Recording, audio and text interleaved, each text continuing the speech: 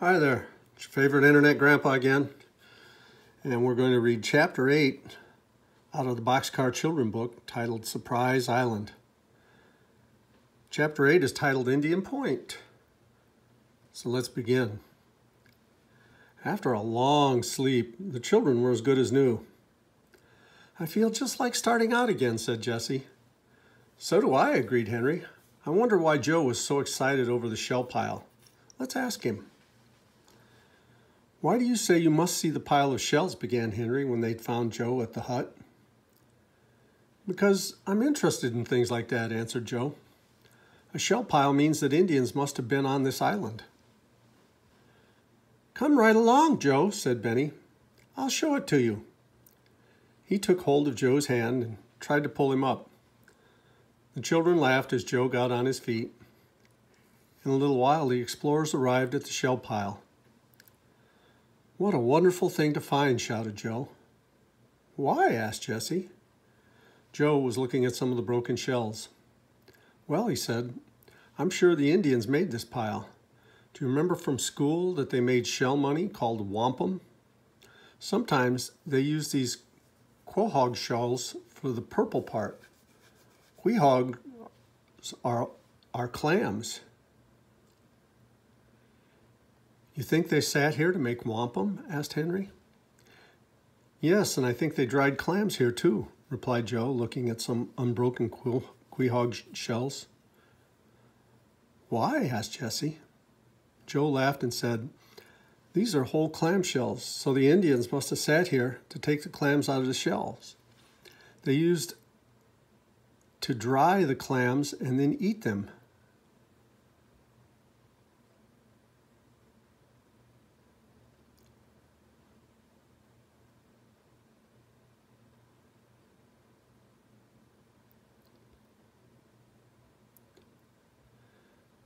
Jessie knew that, said Benny. She said they sat here for years and years. But I didn't know they were Indians, said Jessie. Do you think we could find any wampum here, Joe? asked Henry. No, I don't really. They would save it because it was money. But we might find some old tools they used. The Indians used to smooth the shells on stones and then make the holes with tools they got from white men. Let's dig, said Benny. You can tell us if we find a tool. I'd like to dig, said Joe, but we ought to have some something good to dig with. Let's go back and get something from Captain Daniel. I'm too tired, said Benny, and so is Watch. Henry laughed. you sit right down with Watch and Violet, he said, and don't go away from here, and don't get into trouble. The rest of us will go get the things and come right back. Remember now. All right, said Benny, sitting down. While you're waiting, you could do some digging with a stick, called Joe. Save everything you aren't sure about. Violet began at once to look over the broken shells. Why don't you look, Benny? she said. Wouldn't it be wonderful if you and I found something good while they were gone? Let's try.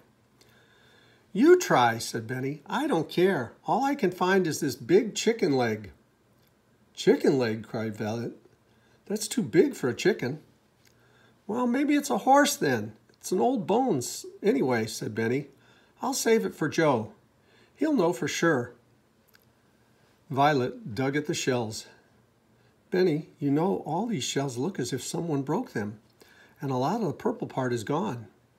That means that Joe is right and they did make wampum here.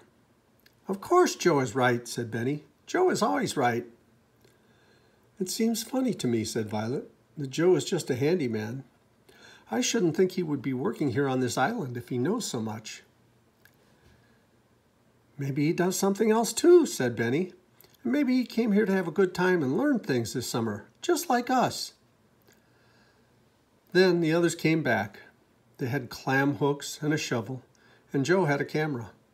A camera, cried Benny. You can take a picture of Watch digging up an Indian. I wish I could, said Joe, laughing. I want to take a picture of the shell pile. You and Watch sit right where you are. That will show how big the shell pile is. Violet scrambled out of the way. No, no, said Joe. don't go. I want you in the picture too. You stand beside Watch. So Violet stood where she was, and Joe took the picture. He took four pictures, one from each side. Why do you want all these pictures, Joe? said Henry. Maybe I'd better tell you something, said Joe. If the people on the mainland knew about this pile, they would be over here with cameras and shovels before we could stop them. You wouldn't like that, would you? Oh, no, cried Benny. We don't want a lot of people over here. You children had not better you children had better not tell anyone about this shell pile before your grandfather knows, he said Joe. Excuse me. All right, we won't, said Henry.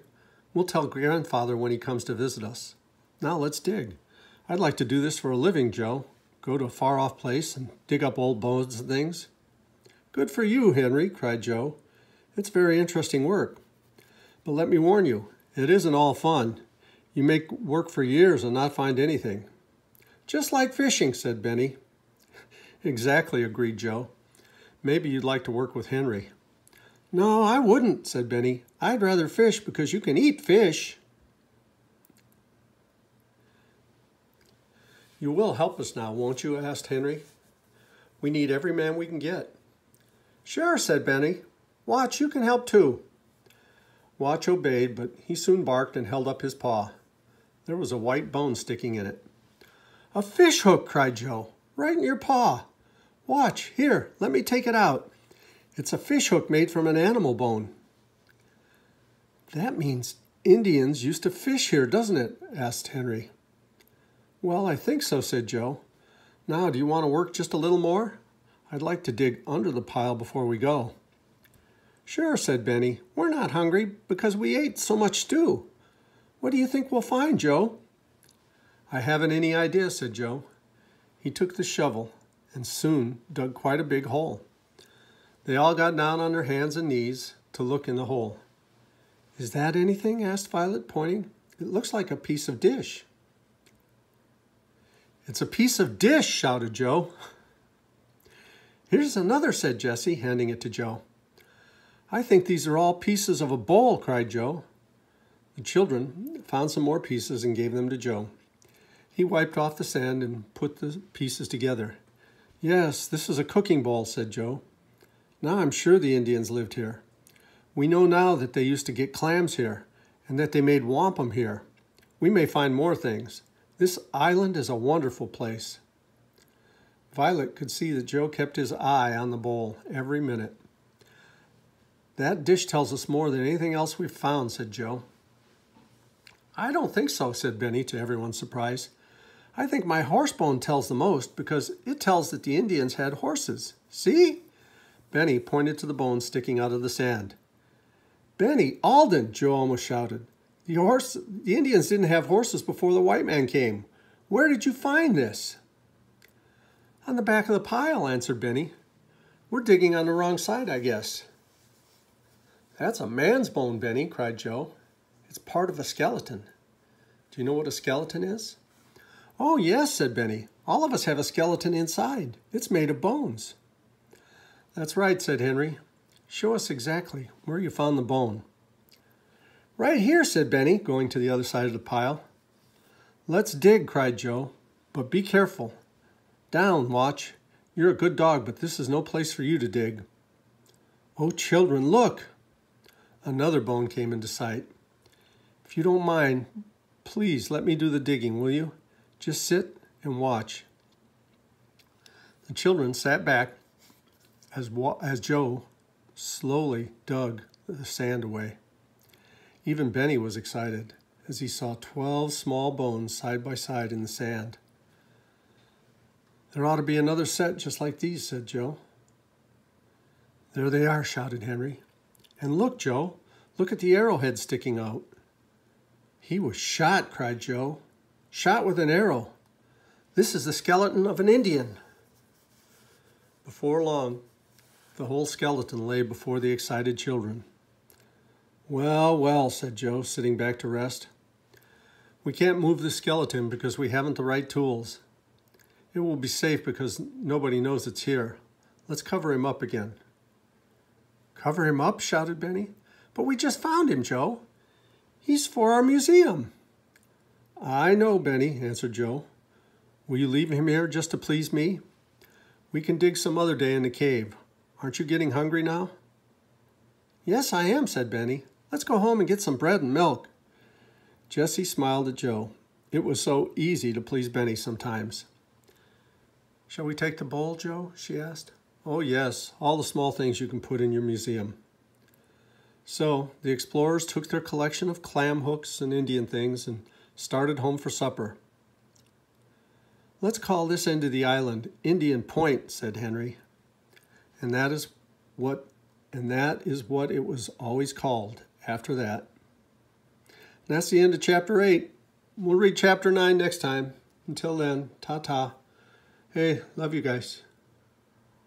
Bye bye.